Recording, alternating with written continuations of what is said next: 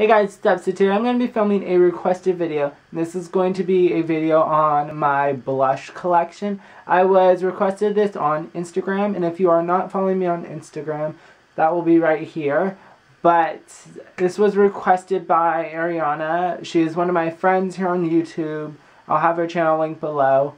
And she just requested a blush collection, and that is what I'm going to show you guys today. The first blushes are from Second Love Cosmetics. I do have a variety of blushes from different companies, so yeah. Um, and they're all fairly inexpensive. That's what I'm looking for. These are both from Second Love Cosmetics.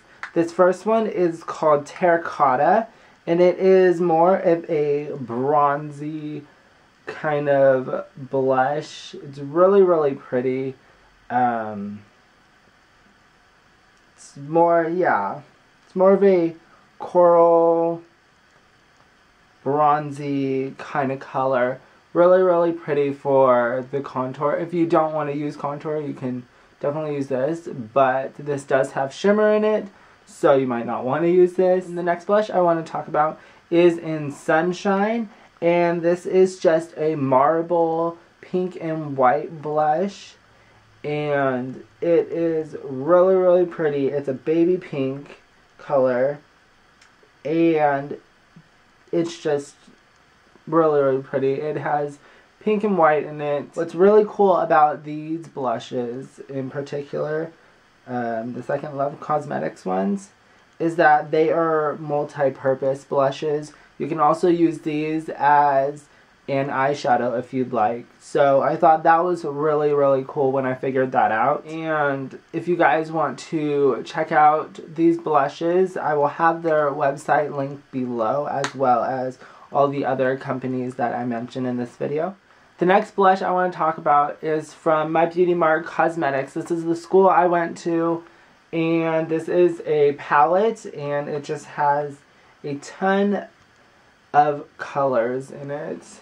There is an orange to a burnt orange to a nude to a mauve to a Barbie pink to another mauve color to more of a yellow undertone to a orange slash peach color, a hot pink, and more of a a settled down pink. And these are really, really pigmented. I like these a lot, as you can tell. I've used them because there is powder everywhere.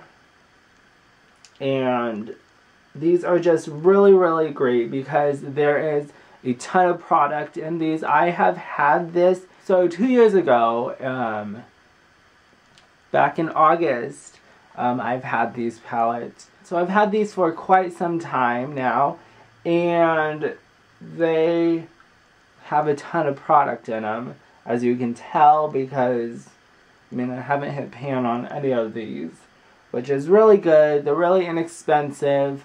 I will have their website linked below. I'm actually gonna have, I actually want to go out there in a couple of weeks or so because they did just get some new products in and I want to go check it out and yeah I really like this I'll have their website below and yeah. last blushes I want to talk about are all from e.l.f. and all these.